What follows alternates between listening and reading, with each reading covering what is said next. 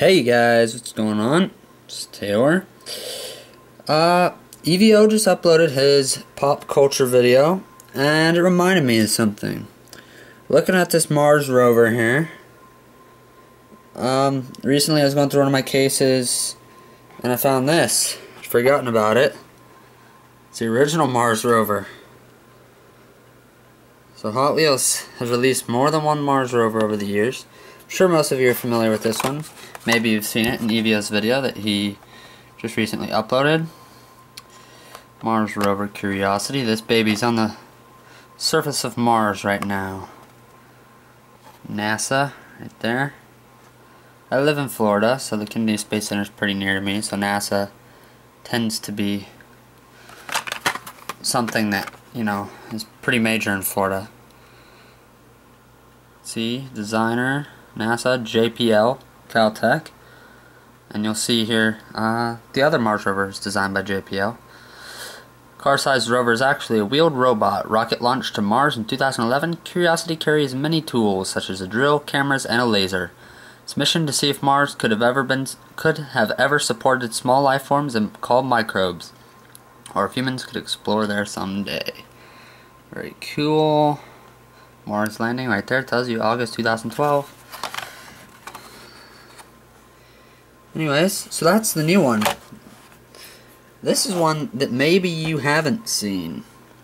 Hot Wheels Action Pack Rover Mission to Mars. JPL Sojourner, Sojourner, Sojourner, Mars Rover. Has a very nice card decoration. You can see the lander, um, which I would imagine is uh, the thing. Yeah, you can see right there.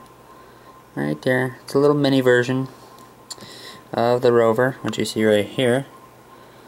The wheels look, obviously they're not normal Hot Wheel. Like the other one you just saw, they're an interesting wheel type. Not even sure if it rolls. I'm not going to open it up. Um, see, it has a solar panel on top. Quite different. Still going for the six-wheeled vehicle though, as you can see. And then you see the Pathfinder, which believe is the capsule that all this arrived in. Not too sure. Flip it around here to the back.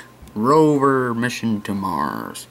Mars Pathfinder spacecraft is scheduled to land cushioned by giant airbags on Mars on the 4th of July, 1997. After a seventh month voyage through space, the Sojourner Mars rover will drive out to explore the Martian terrain and transmit data and pictures back to Earth.